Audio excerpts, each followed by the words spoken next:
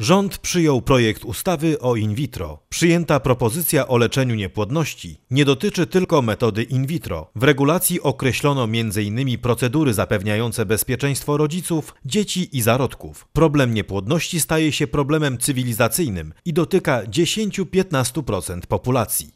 Ustawa, która w tej chwili będzie y, procedowana w Sejmie, to jest bliźniacza ustawa, w zasadzie identyczna ustawa, jaką ja złożyłam do laski, dla laski marszałkowskiej w 2012 roku.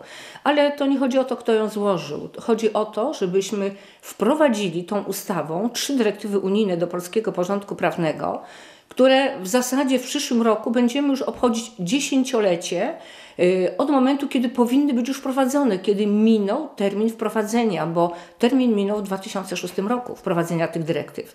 Są to dyrektywy, które wprowadzają nadzór nad klinikami in vitro. Proszę zwrócić uwagę, że my w Polsce od 25 lat wykonujemy procedurę in vitro. 25 lat bez nadzoru.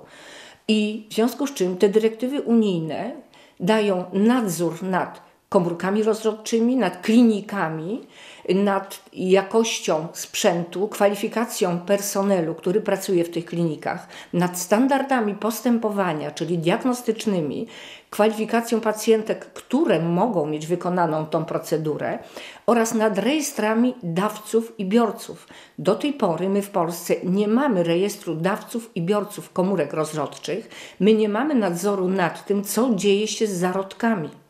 Była przecież historia i podejrzenie handlu zarodkami, w związku z czym do tej pory zwierzęta dochowały się ustaw, co się dzieje z zarodkami zwierzęcymi i Ministerstwo Rolnictwa wprowadziło takie uwarunkowania prawne, natomiast ludzkie zarodki do tej pory są mm, robione czy tworzone bez żadnego nadzoru. Natomiast tak jak Pan zapytał, yy, sprowadza się procedurę medyczną do takiego paliwa politycznego, do tego, że my robimy, y, y, konfliktujemy y, obozy polityczne, natomiast wypowiadają się ludzie, którzy nie mają zielonego pojęcia o medycynie, o leczeniu, o metodach leczenia, o metodach diagnostycznych. Y, próbuje się sugerować, że in vitro, dla in vitro alternatywą jest naprotechnologia. No wystarczy posłuchać wypowiedzi osób, które w ten sposób y, argumentują swoje stanowiska, żeby wiedzieć, że oni naprawdę nie wiedzą, o czym mówią, że in vitro nie ma alternatywy. Naprotechnologia nie jest żadną alternatywą dla in vitro. Mierzenie temperatury podstawowej i dieta w przypadku niedrożnych jajowodów to są dwa różne światy, jeśli chodzi o procedury lecznicze. Nikt się nie skupia na potrzebach i tęsknotach par, które nie mają dziecka i pragną posiadać potomstwo. Dlaczego mamy odmawiać ludziom, którzy się kochają, chcą ze sobą być, y, niemożliwości, nie, niemożliwości posiadania potomstwa. Oni naprawdę pragną na te, tych dzieci, kochają te dzieci, to będą dzieci wyjątkowo wyczekiwane. Pracuję w ginekologii już dosyć długo. E, bardzo wiele kobiet nawet nie wie, że było dwa, trzy dni w ciąży, tydzień w ciąży. Natura do trzeciego tygodnia ciąży eliminuje około 80% zarodków. Sama natura, organizm. Eliminuje dlatego, że są niepełnowartościowe, uszkodzone z tysiąca różnych swoich przyczyn.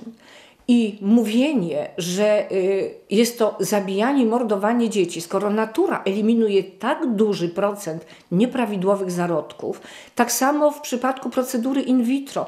Część tych zarodków obumiera albo rozwija się nieprawidłowo i też obumiera.